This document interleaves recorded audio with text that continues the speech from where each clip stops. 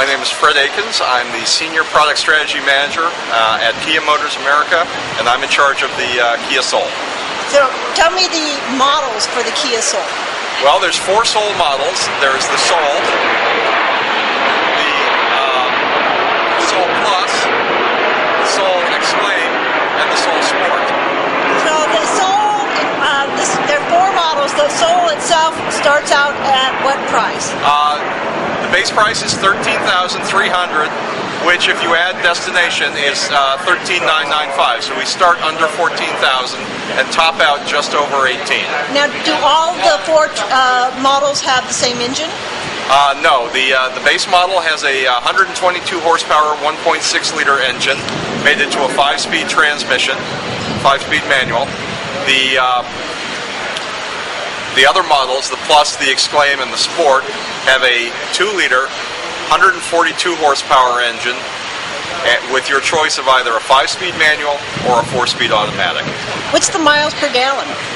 Uh, on the uh, on the base model with the 1.6, it is uh, 26 city, 31 highway, and uh, with either the 4-speed automatic or the 5-speed manual with the 2-liter, your fuel economy is 24 miles per gallon city, 30 miles per gallon highway. Now, the difference between the lowest level and the and the uh, most expensive top level. What's the what is that difference? Uh, in terms of price? In, ter- in terms of technology? Well, in terms of technology, really, there's uh, very few differences. The uh, the base model is a fully equipped car. It comes with an AM/FM uh, CD audio system, aux plus USB audio inputs. Um, it comes with all standard safety safety equipment. So you've got four-wheel disc brakes, ABS, stability control, traction control.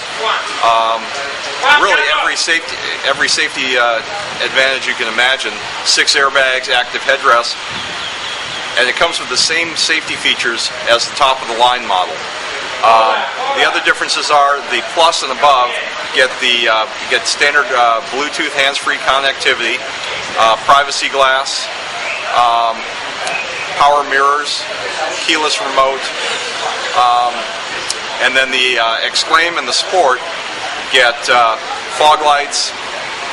The Exclaim gets a power moonroof, and the Sport gets a Sport Tune suspension, and both of those vehicles have 18-inch um, alloy wheels. Only two-wheel drive, no four-wheel drive? That's correct. It's front-wheel drive only. Who are the competitors? Uh, the competitors are the uh, Scion XB, mm-hmm. the Nissan Cube, and to a lesser extent the Scion XD and Suzuki SX4. Fred, thank you very much. Thank you.